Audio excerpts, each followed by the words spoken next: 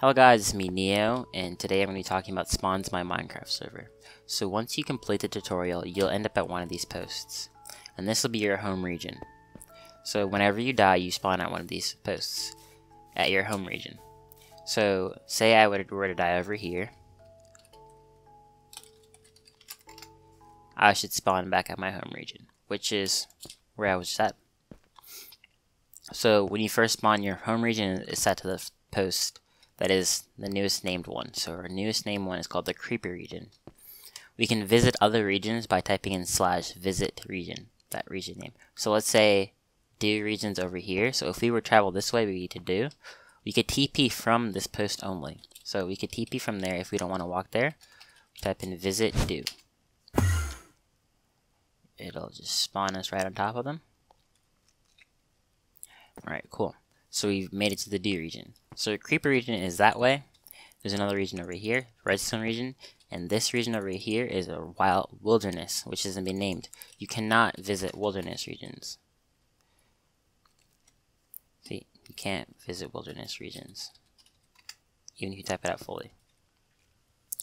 To visit wilderness regions, if a player is living there, you're gonna have to type in visit that player name. Say I lived there you TP there. But my home region is a creeper region, so you don't have to type in my name to visit me because I live in a named region.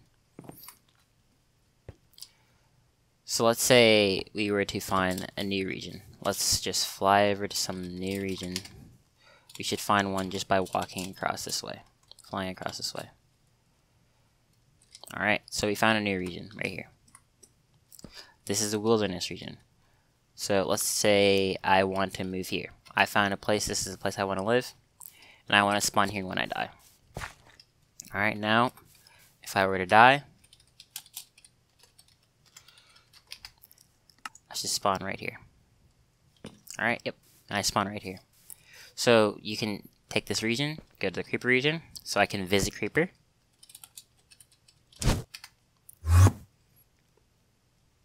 And I can get there with myself, right there, like that. Now, if I were to type in visit Nexus 671, I would have to be invited because I live in the wilderness. Someone can't just visit you without having the permissions. You have to invite them. So I invite Nexus 671, which is me, and now I visit myself. So if, if someone wants to come visit you, you have to type in invite their name and then now they can visit you. You don't have to type that in if you're going to one of your home. All you need to do is type slash home region. It'll take you automatically home. And that's about it for spawn regions. So I forgot one thing. If you want to look at the list of regions, you type slash regions. That'll show you all the named regions in the server, and you can visit each one of them using the visit command.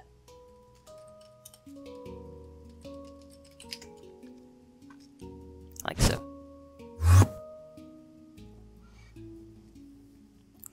Alright guys, thanks for watching.